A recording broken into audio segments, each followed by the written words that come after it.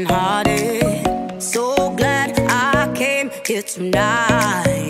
And I see you got what I wanted. Baby, you got what I.